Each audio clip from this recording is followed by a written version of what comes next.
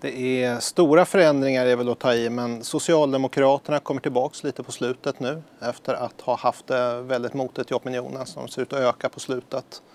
Vi eh, ser att Sverigedemokraterna fortsätter en negativ trend. De har en, en eh, dålig spurt. Och sen är det ju Kristdemokraterna bekräftar eh, den här, lyckas försvara den här snabba uppgången de har haft i opinionen. De har haft en eh, mycket stark avslutning på valrörelsen. Om man tittar på blocken. 38,4 procent för allianspartierna. 41,6 procent för de rödgröna.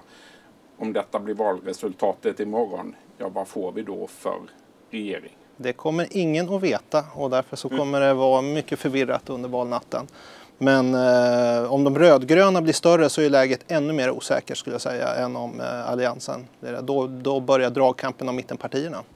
En sak kan vi konstatera nu och det är att eh, de två stora riksdagspartierna idag, de kommer att backa i det här valet.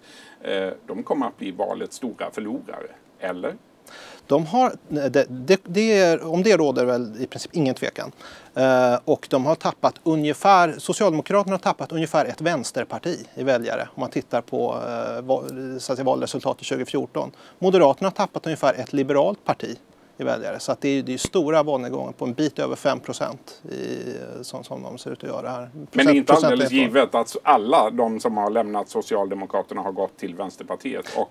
Det har de inte gjort. Nej. Det har de definitivt inte gjort. Hur har vägen sett ut då för de väljare som har lämnat Socialdemokraterna mm. respektive mm. Moderaterna? För Moderaterna så har ju de stora strömmarna gått i riktning till, eh, till Sverigedemokraterna. Eh, eh, de, de gjorde stora förluster valet 2014 och lyckades inte rätta till det. Efter det så fick de en ny blödning till Centerpartiet. Eh, där har de lyckats eh, vända tillbaka en del och vinna tillbaka en del efter att Kristersson efter att Kristersson blev partiledare, men en del har fortfarande stannat kvar där också och har lyft deras siffror. Socialdemokraterna har tappat en del till Sverigedemokraterna, men framförallt förstås till Vänsterpartiet. Och så ser vi ju då att det går väldigt, väldigt bra för Sverigedemokraterna som du är inne på i opinionsundersökningar.